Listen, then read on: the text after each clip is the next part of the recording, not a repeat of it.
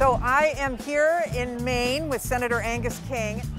We are here to really support and marvel at the technology of the Ocean Renewable Power Company that is building devices to capture energy from water. The other thing it generates is jobs, and the market for this kind of power worldwide is enormous. Our device versus diesel is about a 98% reduction in life cycle carbon emissions. It is super exciting because we're looking for all ways to produce energy without generating any carbon pollution. And this is an example exactly of that Maine ingenuity.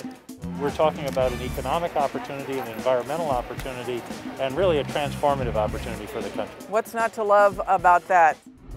I am here in New Hampshire with Senator Hassan, Representative Pappas, and we are talking about offshore wind in New Hampshire, in the waters, at the port.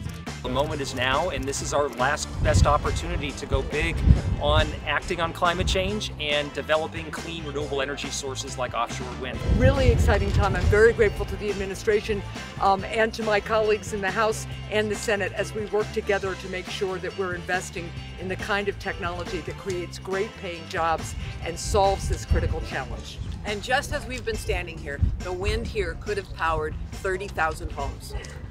oh my gosh.